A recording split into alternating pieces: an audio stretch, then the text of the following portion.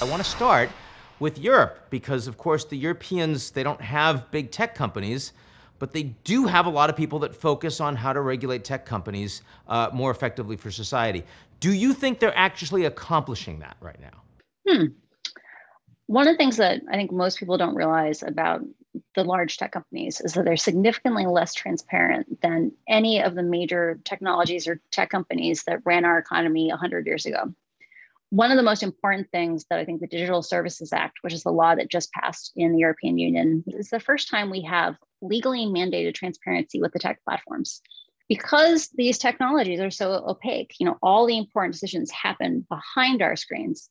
Um, we've never had a chance for the public to build a public muscle of accountability and these companies continue to run ahead of us and we don't even get a chance to like ask our own questions or develop our own theories and so i think the most important thing the dsa has done is is actually make that a mandated right like demand data access um, the fact that they're also asking for public risk uh, assessments having the companies actually disclose the risks the companies companies know about because right now the playing field's that unlevel i think those could have really transformative effects just because we're starting so far behind now, Europe is a big market. It's the largest common market in the world. But on, on the social media side, Europe, because it's so big, uh, you know, even if you have regulations that are expensive for companies to put in place, it's also expensive for companies not to have unified standards. And so I'm wondering, do you believe that the Europeans passing this new law means that the American companies will eventually move towards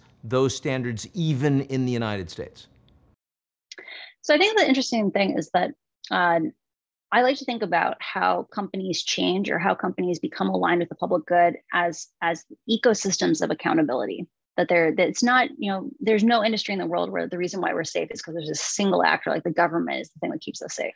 It's because there are litigators who know what it means to cut corners um, and like when, when people are optimizing for profit over safety and hold them accountable or it's about investors who understand what long-term success looks like and can help govern these companies in a, a more sustainable way in the case of our relationship with big tech we've never gone to form those larger organs when you look at the DSA, the DSA doesn't have a lot of things where they say you must do X, you must do Y, you must change your company in specific ways. What it says is we want a different relationship we want you to disclose risks. We want you to just actually give access to data.